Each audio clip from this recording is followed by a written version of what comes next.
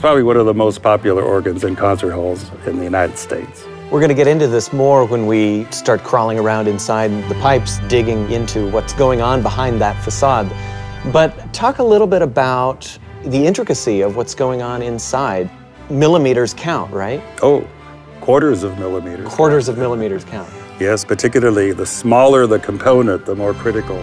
The basic sound of an organ comes from metal pipes, which are open and, and very slender in shape. When you're designing it, are there specific pieces that you think about? Like, for example, the Saint-Saëns Third Symphony? It's important to do so. Otherwise, it, it's not going to uh, fulfill those needs. The Saint-Saëns Symphony, which is a staple, it explores very nicely the very softest sounds, and you don't hear it in that second movement till that bam.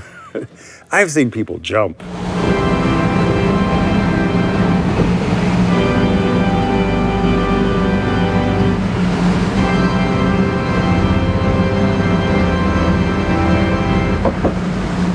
You turn on the organ, the blowers whirl up and deliver the wind to the bellows. Those bellows then in turn convey the air to the wind chests via ducts. And in the wind chests are valves which correspond to the keys on the keyboard. So there's 61 keys and 61 valves. The pipes sit on those wind chests waiting for the air to enter them. When you play a key, you let air into the pipes according to the stops you've selected.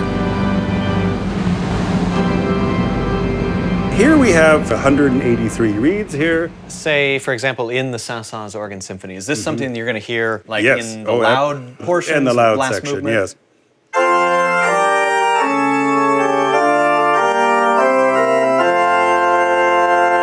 Play the low C of the contrabombard by itself. It's just a noise. Those are what we call the 32 foot long pipes. So there's that magic moment in the second part of that soft section where the pedals come in an octave lower than the orchestra.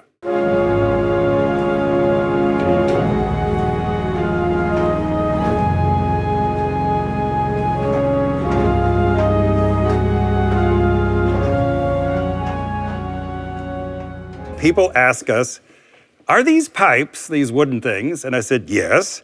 Well, are there pipes inside? And I said, no. No, these are really the pipes. For us to prove that that's really a pipe, okay. you get to put your hand in it. In, in the in, hole? In the mouth. You see? Yep. Let me tell you, every recital is a challenge to make sure that everything works perfectly all the way through.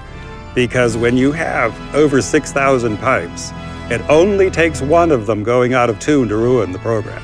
Something that's really special about the Saint-Saëns Symphony, too, is that it really is a chance to demonstrate how the organ can blend with a symphony orchestra just absolutely wonderfully and perfectly. It's the most often heard organ orchestra piece, and it always seems to bring a lot of pleasure and excitement to the audience. I never tired of it. No? It's too good. it's better than candy.